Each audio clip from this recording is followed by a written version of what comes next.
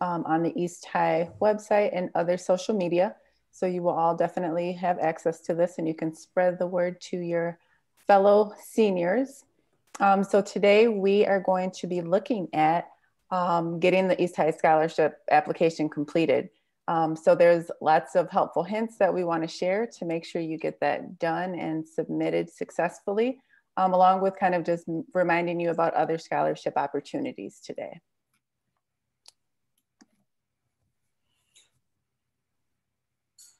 And we'll also kind of remind those still working on FAFSA some things that you need to make sure you're doing to also make sure that is um, kind of squared away and set for your applications. So today is the official day that the East um, High School Scholarship application opens.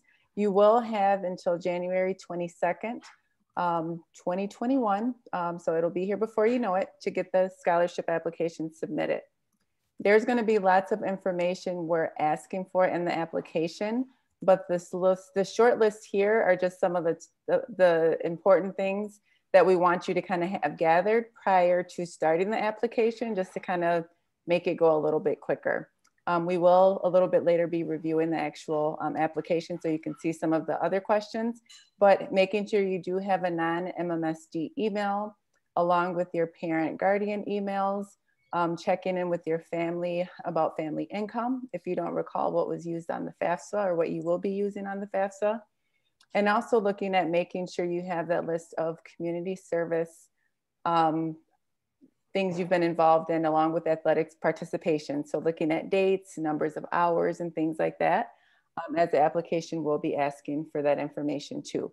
Um, we'll also be asking you about some of your post high school plans. And it's okay if you don't have anything solid, but we do want you to just kind of be mindful um, of thinking about what colleges you'll be applying to, whether you're staying in state or planning on going out of state for college, um, taking a gap year, um, whatever your plans may be. So the point is to make sure you have as much information as possible so you can get through the application um, in, in a good amount of time. So when looking at the application, um, you will get the link at the end of this presentation. So we'll share that out to you um, so that you will have access to it. So give yourself at least one hour to complete the application because you do, again, wanna make sure you are as thorough as possible. And I'll say that again later because we do ask for lots of information because there are many, many different criteria that the scholarships um, have for um, being awarded. So the more information you put, the better we can kind of match you with the appropriate scholarship. Um, in the event that you do not finish the application in one sitting, you do have the option to return to it. But in order to do that, to make sure that all of your information is saved, you do need to make sure that you put something in all of the required fields of the application before you submit it, okay? And so once you do submit it, whether you're finished with it or whether you know you need to go back to make edits, um, you'll receive a confirmation that has a link for you to go back to edit. If you do submit the application and you know it's incomplete in those fields that you just have to put something in, it's good to put not done. So then that way, when I see the submission on my end, I know that you'll be coming back and I can kind of keep that in mind when I'm gathering um, all of the scholarship information um, after the deadline to make sure I have the um, correct application. On the next screen, you will see this is the email that you will receive. So once you submit the application, just go back and double check to make sure you get this email and you'll see there's a button there for you to edit your response. So you will only use that if you need to go back and make any changes. It'll take you right back to the application and you'll be able to kind of go through and fill in whatever um, whatever spots you left blank or, or not left blank, whatever spots you put not done in, you can go and change those. If you've submitted and you're done, then you won't need to worry about going back to edit. So we are gonna hop into the scholarship right now, just so you all can have a look at what's in there. Um, so you can get familiar with what they are going to be asking you.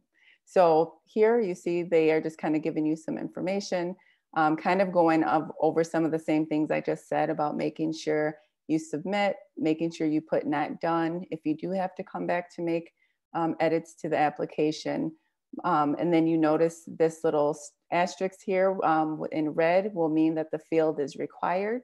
So I will go ahead and show you what it looks like to get through this first page. You will notice again a reminder of the scholarship deadline, January 22nd, 2021. And we are fairly firm on that deadline because we have lots of information and kind of prep work to get ready for our scholarship committee meeting. So it is important to not wait until last minute to submit. So there are no errors or issues kind of last minute um, and making sure to touch base with me or your counselor if you have questions prior. So these questions here are kind of looking at what do you need um, to be eligible to complete this East High School scholarship application. One of the important things to keep in mind is that you do need to be a student that has attended East for a minimum of three full semesters, right? So we have that kind of all in caps as number one, because sometimes we do have students that, you know, maybe just got here this year or came second semester last year in which case, unfortunately, you would not be eligible to complete the scholarship application. Um, so please do kind of go through this checklist thoroughly to make sure you um, are going to meet that criteria. You do need to be a senior that is on track to graduate.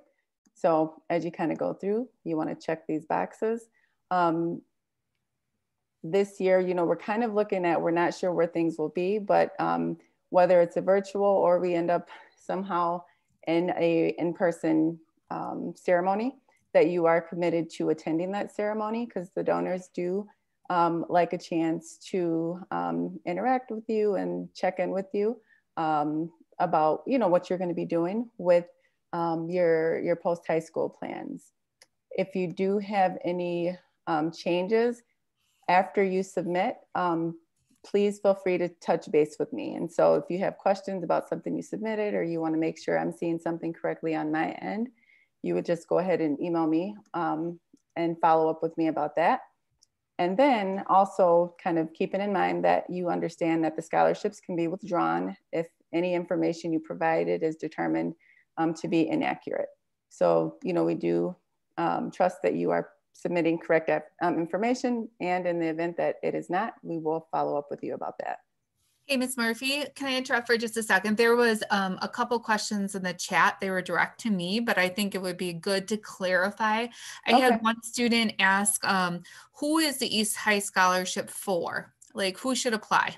Everybody should apply. So um, any student, like the criteria are all over the place. So whether it's needs based, whether it's for somebody that wants to study business or somebody that wants to study chemistry, whether it's a student that has overcome a very significant challenge, the criteria are kind of all over the place. So we encourage each and every one of you to apply because with the number of different um, eligibility requirements, you know, they it's kind of you know an open an open field of what you might be eligible for. Yep. And I would just add that there's between 80 and 100 different scholarships. So your job as a student is just to apply. The scholarship committee then will match you up with whatever scholarship you would be eligible for, and then they'll make decisions about who will receive those awards.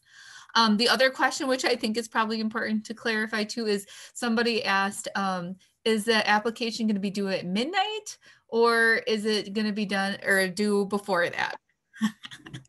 So ideally, we would like you to have it done before that. So technically, midnight is the next day, right? So we would say 11:59 p.m. on the 22nd. But again, hopefully, you're not up late at night waiting until last minute. Because again, if there's errors and things happen, then you know there's not a whole lot we can do about that. So you know, ideally, maybe set an earlier deadline for yourself, but know that after that time, we will no longer be accepting submissions. Okay. So please, please, please do your best to get it done um, prior to that deadline. And if there, your life is just crazy, crazy, and you just can't help but wait until 11:59 p.m. Okay, but we really hope that you can squeeze it in now, since you do have um, a little over a month to work on the scholarship. Any other questions in there? Okay. So moving on, kind of looking at the um, application. So we, um, you know, ask for your name, student ID, um, if you have an IEP, um, who your counselor is, your counselor email. Um, also interested in knowing if you participate in other um, other programs, so whether it be People, ITA, AVID, um, and again, paying attention to all those fields that have the red asterisks because those are required, okay? I'm trying to see if there's anything else here we wanted to go over, if we wanted to go further into the application. What do the counselors think? I think that's probably good, Robin. Okay. So again, another reminder to please be very thorough um, in your responses. So, you know, when we ask you about any challenges you've overcome, give us a little story, give us a couple paragraphs about any challenge you may have overcome. It's hard for us to get a good sense of what's going on if we only get kind of two or three word responses. Um, also, when we're asking about, you know, your most significant activities while at East or most important activities while you were at East, please share as much as you can because that just really gives us a good sense of, you know, what those experiences were and kind of how they've had an impact on you.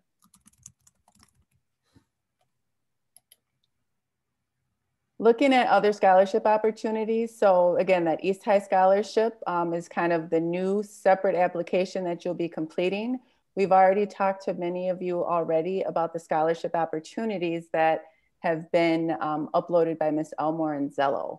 So there are, again, a couple of ways to get into Xello to access those opportunities. One of them being via Xello and ClassLink. So on the left, you see the blue screen there and the last icon is Xello. you can log into that as long as you're logged into your email already. No username or password is required. And then the same if you choose to go to the East High School website and just scroll all the way down to the bottom on the right hand side, you can see it's the screen is um, down at the bottom and you'll see there's that Xello link for students. Um, and that's what you want to click on. So once you get into Xello, you will see a page um, that has your name up top. And then you want to click on college planning, which will be on the right hand side, and then click on local scholarship opportunities. So let me actually go back. And I'm just going to show you quick um, that first page so you can see exactly where to click on. So again, this is separate from the East High School Scholarship, but just additional opportunities that you should also be reviewing. Um, so I'm gonna pop in here and I am going to share my screen as a 12th grader. Give me just one second here.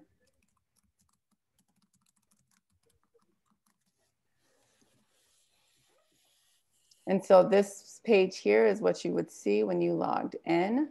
Um, here is that college planning link here on the right that you want to go to.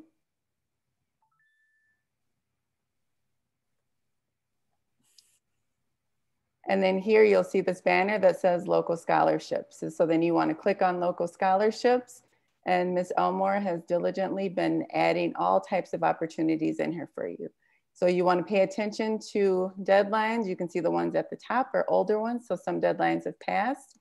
But if you keep scrolling down, you'll see additional opportunities that you know are available to you. So let's say you are interested in the Hispanic Heritage Foundation Awards.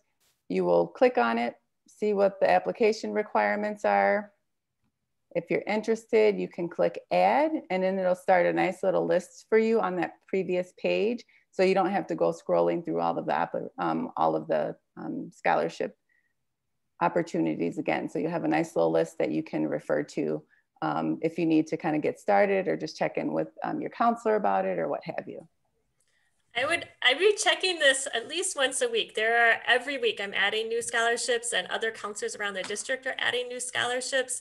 Um, the good thing about most of these they're local, either like Madison, Dane County, or Wisconsin. So your chances of getting them are much higher than some of the big national ones. Um, so definitely keep logging in weekly to your Xello account. I hopefully you're also getting some messages in our Google Classroom stream. Um, I try to put some in there too, just to call your attention to them. but most of them will take like an hour or so to apply for them and you might get like $500 $1000 it's really worth your time. You're not going to get each one that you apply for but the more you apply for the better your chances are, are getting of getting some scholarship money and just to kind of review it too, I think um, Ms. Murphy did an awesome job demoing the, the East High Scholarship, but we're kind of talking about two different buckets of scholarships. Mm-hmm. The first one that Ms. Murphy went over was the East High Scholarship, and that is um, one application that makes you eligible for about 80 to 100 different scholarships that run through EAST and the scholarship committee decides the recipients. The students that win those scholarships will be invited to an award ceremony, either virtually or in person, depending on where we're at in May. Um, but those students will be recognized, you know, in-house at our building in some fashion. Um, and then Ms. Elmore talked about um, outside scholarships. So those are scholarships that are sent to um, MMSD or to East in particular for us to advertise to students. So they're not ones that we decide or the scholarship committee decides. They have separate applications and they're many times decided by people in the community, but there are a lot of local opportunities. So we really need you guys to do to do both, right? We want you to complete the East High scholarship, but then also be checking on Xello for other opportunities that are out there. Yeah, thanks for that clarification, Ms. Olson, because it is important. Lots of scholarships, but kind of two separate things you need to be paying attention to. Any other questions in the chat or if anybody wants to put their mic on and ask any questions?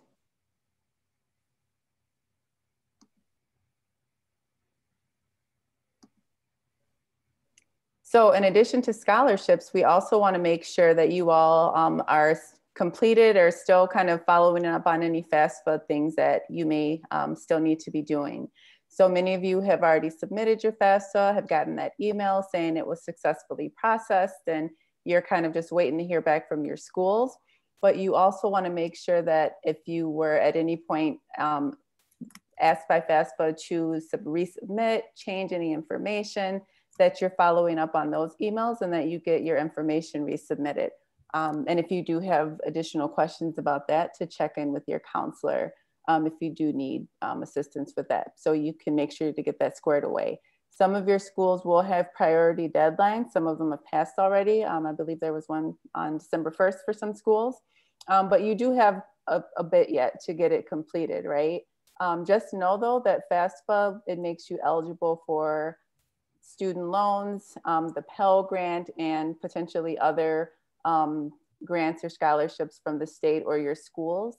So that's why, regardless of income, it's very important to make sure you get the FAFSA completed because some of the scholarships that you're completing um, applications for may require um, that as part of um, the application process, right? So the FAFSA is going to be really important to make sure you're following up and making sure that is successfully submitted. And if you haven't yet, to make sure you follow up with us for any support you might need with that.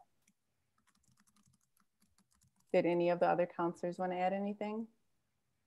Um, I had a couple students just asking in the chat where the um, application was going to be posted. I don't know, some people. Yeah, so I'm going to share it in the link here. I'm going to share it in the chat here when we finish up. And then it also will be posted on the main East web, main East High website and all the social media. So on Facebook and Instagram and things like that.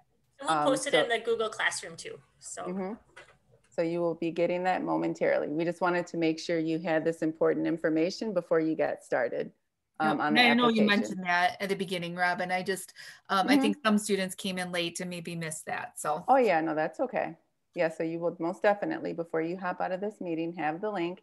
Um, we will kind of be letting you know periodically too to keep it um, keep it on your radar to make sure you get it submitted. Um, so you'll get plenty of reminders and plenty of additional, you know, opportunities to access it too. Okay. If you do have questions again regarding the application, please feel to reach out to me. So I'm Miss Murphy for those of you that do not know me. So there is my email address and you can also reach me via text or calling my Google Voice number. So please feel free again to reach out with any and all questions. Um, you can also check in with your counselor um, if that works for you and they can follow up with me if needed. Um, but again, please make sure to